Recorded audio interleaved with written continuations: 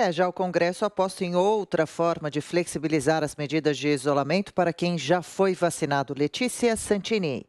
O Senado aprovou por unanimidade o projeto de lei que cria o certificado de imunização e segurança sanitária, espécie de passaporte para quem foi vacinado contra o coronavírus.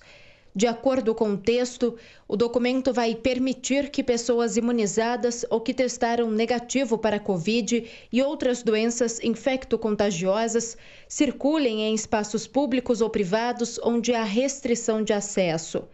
Segundo o relator, senador veneziano Vital do Rego, o objetivo é conciliar a adoção de protocolos sanitários com a preservação dos direitos individuais e sociais.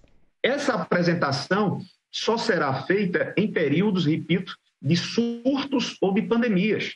A exigência à apresentação do mesmo, ele não se dará em tempos de normalidade. É ponto que nós precisamos ratificar e repisar.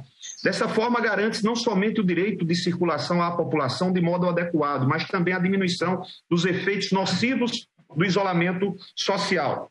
O documento será digital e poderá ser utilizado para autorizar a entrada em eventos públicos, o ingresso em hotéis, cruzeiros, parques e reservas naturais. A validade do certificado vai considerar os comprovantes de vacinação ou de testagem, nacionais ou internacionais.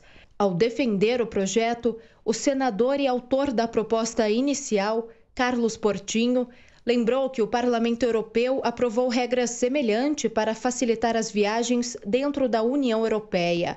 Segundo ele, o documento é um instrumento de exercício de liberdade no momento em que toda a população brasileira sofre restrições.